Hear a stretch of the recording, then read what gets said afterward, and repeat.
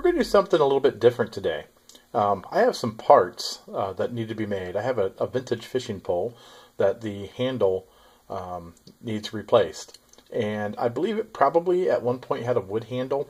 Um, however, the, the wood is either rotten away or over the course of time it's gone. And it's a vintage pole. It means something to me. It was probably made in the 40s.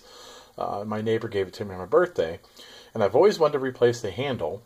And the other day I was doing a little bit of YouTubing and I found a guy who made parts out of HDPE plastic.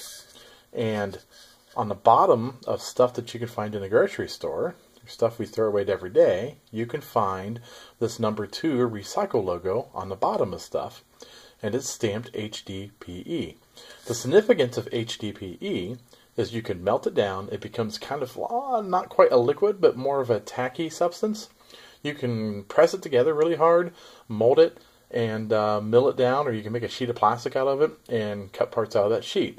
So that's what we're going to attempt to do. So we have some we have some stuff. We have some uh, milk jugs here, or water jugs, and you can see on the side of a water jug it is stamped number two HDPE. We have this pill bottle, which is empty, and it's also HDPE number two on the bottom. And we have some buckets your typical five gallon Lowe's and Home Depot buckets. If you look on the bottom, they also are HDPE. So they're all the same plastic and it can all be molded, and we're going to give it a shot and see what we can do today. So, because of um, the fact that I really have not messed with this type of plastics before and I'm just learning, um, I have a Teflon coated pan and my understanding is if you fill this pan up, as soon as the HDPE cools off, it shrinks and will unstick to it.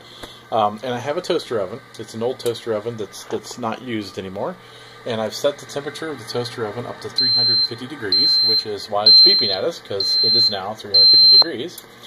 And we're going to stick this in the toaster oven just as a test to see exactly what this material does when it gets hot. And then we'll play with it and we'll determine from there what we need to do to make this a workable project.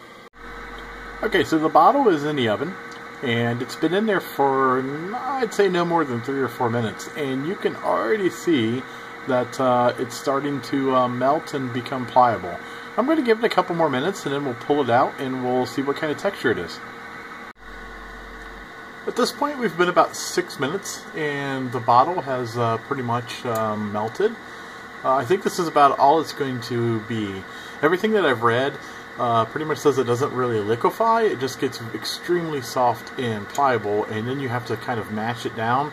Uh, and then after you mash it down, it'll dry uh, into, or not really dry, but um, re solidify into a, um, a harder material. So we're going to pull this out and take a better look at it.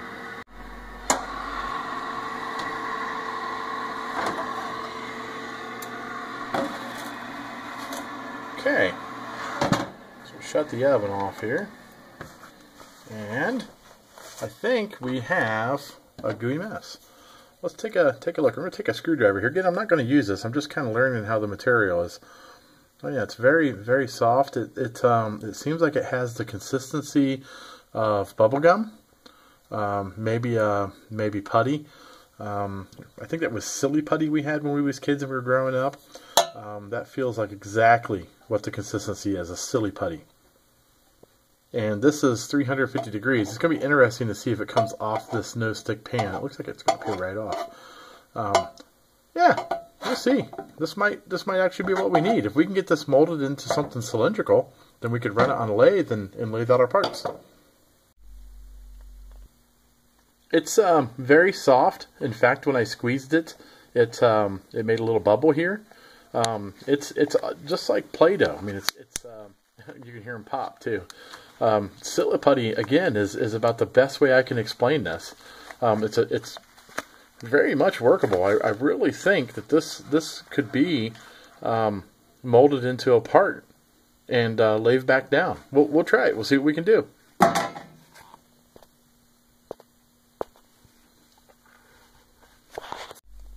Now that it's cooled down, um, I thought I just wanted to wanted to make mention that this piece of plastic is incredibly, incredibly hard. Um, I, in, the, in that little last clip, when it hit the pan, you heard that it was starting to get harder, but now it's it's it's it's just super firm, almost almost like concrete.